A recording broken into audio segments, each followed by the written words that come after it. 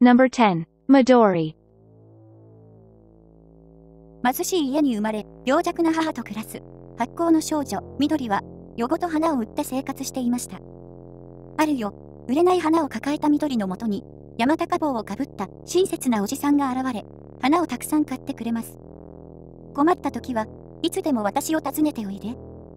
そして帰路につき、家に戻った緑が目にしたのは、すでに生き絶えた母親の姿だったのでした。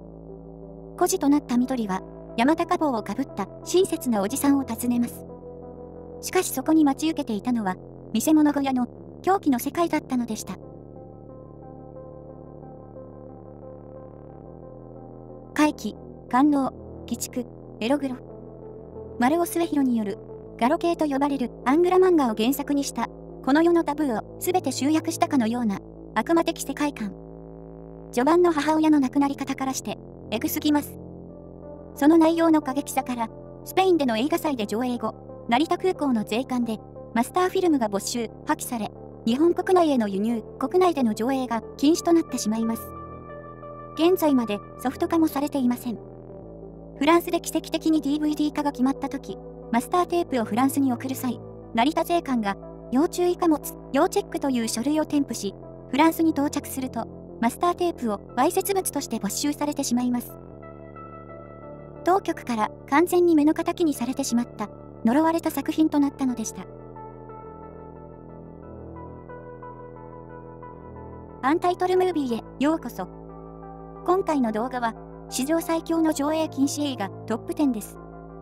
これまで紹介してきた上映禁止映画の中から胸くそ度が高く社会的影響を与えた作品をランキング形式で紹介していきます。Number 9. Natural Born Killers. 父親から暴力を受けていた少女、マロリーは、肉屋の配達人の男、ミッキーと出会い、恋に落ち、両親を殺害します。そして彼らは、愛と圧力の逃避行へと走ります。マスコミは、二人の姿を追って加熱報道し、いつしか民衆は、彼らを英雄のごとく、崇めるようになるのですが、クエンティン・タランティーノが手放した脚本を、巨匠オリバー・ストーンによって制作された作品。実写とアニメ、カラーとモノクロ、デジタル合成、ニュース映像など、ミュージックビデオのような多彩なビジュアル表現を駆使して、あらん限りの暴力描写を見せた問題作。暴力描写はもちろんですが、この映画の大きな問題は、その暴力や犯罪者を来賛するかのような内容。デモのように集まった民衆は、ミッキーとマロリーを英雄かのごとく称え、若い女性は、私を降ろしてというプラカードを掲げる始末。社会的影響を懸念し、欧米各国で上映禁止、年齢制限上映されるなどの措置がなされましたが、劇中のカップルのような模倣犯が続出。事件現場で奇跡的に助かった女性が、ワーナーとオリバー・ストーンに対して、犯罪を誘発したとする損害賠償の支払いを求める訴えまで起こされてしまいます。そして、1999年に起こったコロンバイン高校銃乱射事件で、犯人が襲撃計画のコードネームに使用するほどこの映画を好んで見ており、最悪の影響を与えた悪名高き映画となってしまいました。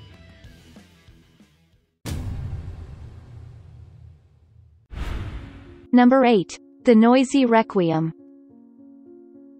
大阪、釜ヶ崎。廃墟ビルの屋上で暮らす孤独な青年、誠は、ナホコと名付けたマネキンをこよなく愛していました。誠は、若い女性を襲い、彼女らの正気をナホコに注ぎ込みます。すると、様々な人間が廃墟ビルへと引き込まれていくのでした。脚本を書き上げた段階で、誰もが映像化不可能と考え、田園日誌などの寺山修司は、この脚本が映画になれば、スキャンダルを起こすだろうとまで語っていました。そして、ついに映像化されるのですが、マネキンを愛する男、小人症、ホームレス、近親王冠、カニバリズム。予想通り、激しい論争を巻き起こしました。トリノ国際映画祭に出品を予定されながら、イタリア税関でストップ。香港の映画祭でも同じく税関でストップがかかり、海外に向けての配給が断たれてしまいます。日本国内では上映はされたものの、開始20分過ぎたあたりから、気分を害した観客が続々と席を立ってしまい、おすぎさんは、とにかく汚らしいと、吐き捨てるように罵りました。その一方で、熱狂的なファンも生み出すことになります。吐きだめでありながら、聖域であり、胸クソでありながら、清らかな世界が広がっていたのでした。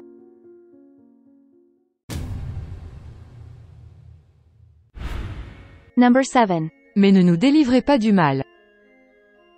寄宿学校に通うアンヌとロールはバカンスを迎えます。二人の少女は共依存的な友情でつながっており、悪魔崇拝の儀式を執り行い、サタンに忠誠を誓います。そして、牧道を誘惑したり、盗みや放火、庭師の飼う小鳥に手をかけてしまうなどの行為を繰り返していました。やがて、二人の行為はエスカレートし、死の危険をはらんだ破滅的な終局へ向かっていくのでした。ニュージーランドで起こった少女による圧人事件をモチーフに、ボートレールの悪の花などの暗黒文学に端的する2人の美しい少女を描いています。退屈で怠惰な日常に嫌気がさした少女たちは、キリスト教の戒律や裕福な環境に背き、無垢ゆえの残酷な悪事を重ねていく。男たちを誘惑し、盗みや放火、動物虐待、悪魔的儀式を行うなど、タブーを犯し続けるという内容により、反宗教的、反道徳的として本国フランスでは全面的に上映禁止、ヨーロッパ各国にも輸出禁止という厳しい措置が取られました。この手の映画に比較的寛容な日本とアメリカで奇跡的に公開された伝説的カルト映画です。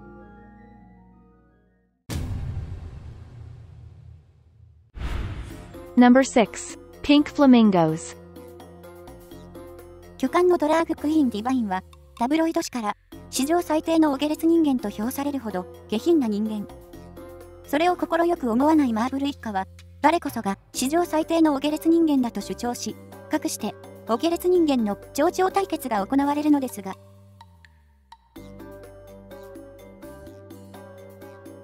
露出、オート、近親感、露出、八ヤンキン、売買、動物、中、食、あらん限りの変態行為を詰め込んだ史上最低の悪趣味映画。このような不快な内容により、当然のごとく世界各国で上映禁止となりました。しかし、巨漢のドラァグクイーンディバインというインパクトのあるキャラクター、ゆるい内容に過激な描写というアンバランス感で、次第にファンが増え、商業的に最も成功したカルト映画として不動の地位を得ることになります。敬虔なカトリックの中流家庭で何不自由なく育った監督のジョン・ウォーターズ。ニューヨーク大学の映画学科に進み、同世代には、マーティン・スコセッシやオリバー・ストーンもおり、エリートコースを順調に歩んでいたかに見えましたが、植物由来のお葉っぱで方向処分になってしまい、その後、悪趣味映画に傾倒し始めていったのだとか。道を外したのか。道を極めたのか。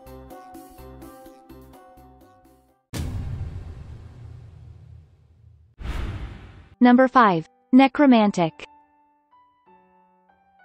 路上清掃会社で働くロベルトは、交通事故の後処理の仕事をしていました。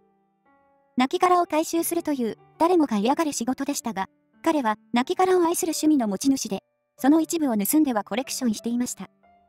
しかも、恋人のベティも同じ趣味を持っており、ロベルトが丸ごと一体失敬してくると、ベティを交えて3人で愛し合うのでした。亡骸を愛してしまうという異常な趣味を持つ人間を過激な描写で描いたドイツ発のこの作品は、当然のごとく、世界各国で上映及び輸入禁止処分を受けてしまいます。こんなの作っちゃダメです。亡骸と戯れるシーンは、所詮作り物だからと割り切っても、やはりきつい。さらに、動物に手をかけてしまうシーンはガチなので、もはや直視できません。できることなら、見なかったことにしたいぐらいの異常な世界。悪名を世界に轟かせた作品となりましたが、監督の揺るぐブッドゲライトは、懲りずに続編である、ネクロマンティック2を発表します。公開からほどなくして、ドイツ国内での上映禁止、そして、ネガを含む、すべての素材廃棄処分を言い渡されました。ブッドゲライトは、ネガを持って地下に潜り、素材を国外に持ち出して、極秘ルートで世界に配給し続けています。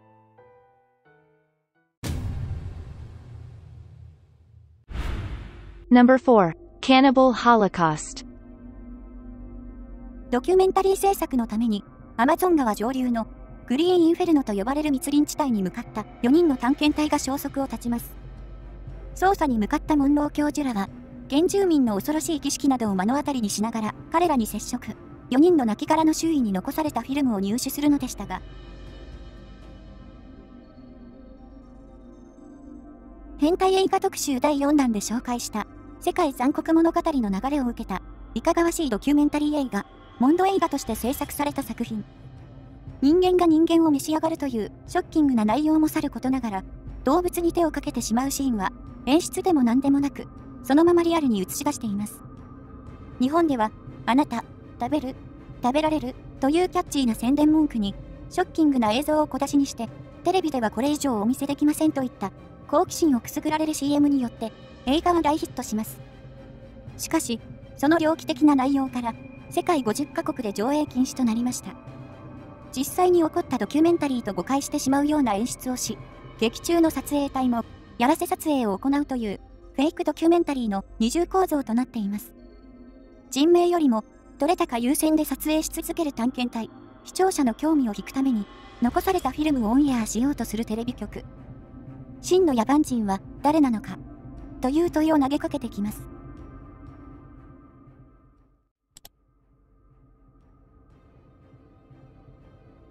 当チャンネルで幾度となく紹介しているため、今回のランキングからはあえて外しましたが、こちらの作品も最強の上映禁止映画です。The Exorcist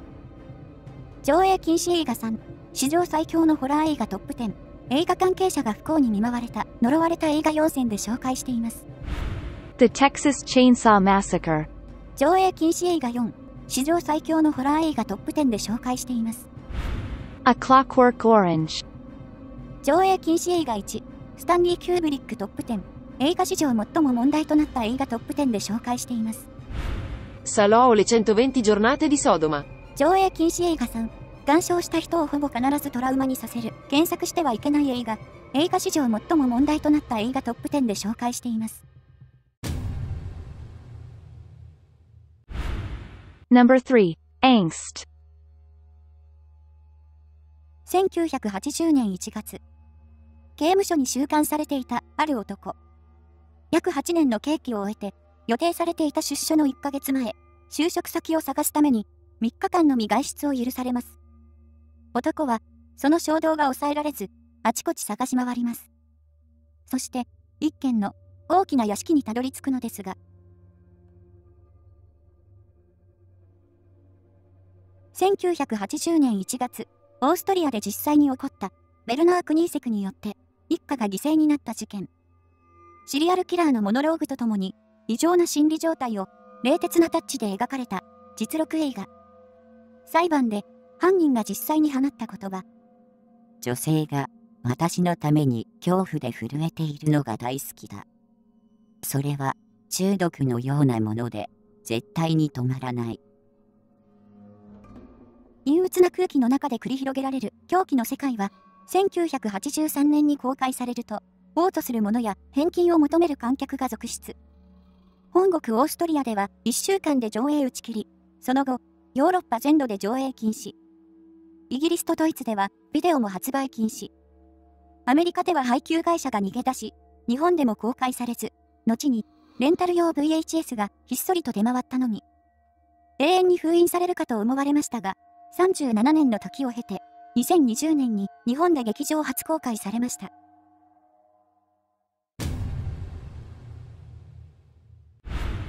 No.2 The Human Centipede 2 Full Sequence 狂気に満ちた医師が、3人の人間の口とお尻とをつなぎ合わせる様を描いた、ムカデ人間。その DVD を何度も繰り返し見ては、自分もムカデ人間を作りたいという欲望にかき立てられる、夜間警備員として働く、中年男のマーティン。そして、夜の地下駐車場を訪れた人々を、次々と襲うのでした。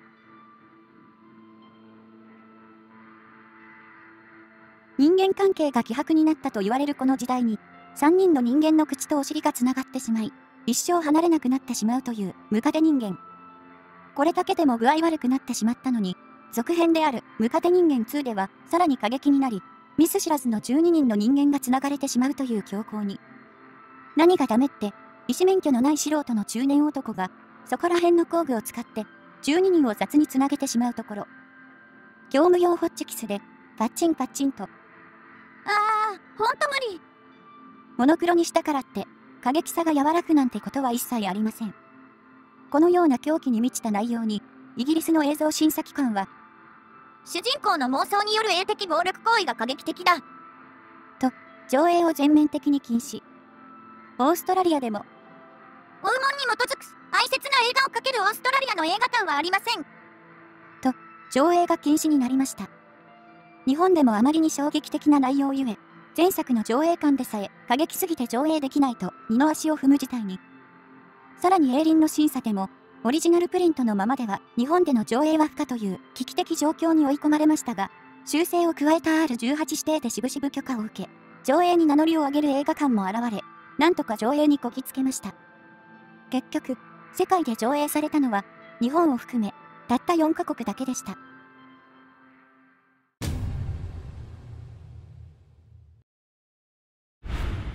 No.1 A Serbian Film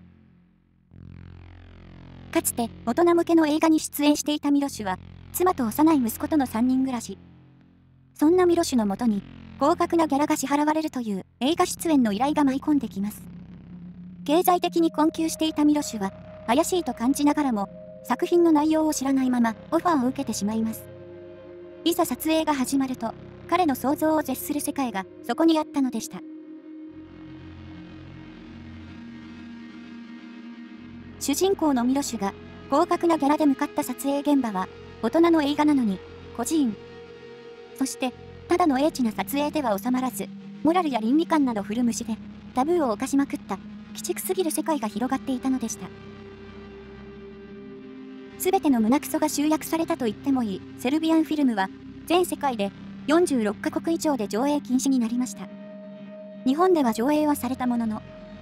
本作品には倫理的にも表現的にも最悪の描写がございます。20歳未満の方には決してお見せできません。また20歳未満の方であっても心臓の弱い方や体調の優れない方のご鑑賞はお勧めできません。お客様各自の自己責任においてご鑑賞ください。といった年齢制限や鑑賞前の注意が告知されました。映画の制作関係者が悪意を持って非難され、このまま闇に葬られるかと思いましたが、2022年に 4K リマスター完全版が公開されるという、読む末です。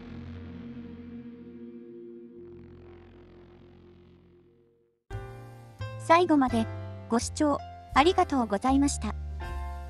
チャンネル登録よろしくお願いします。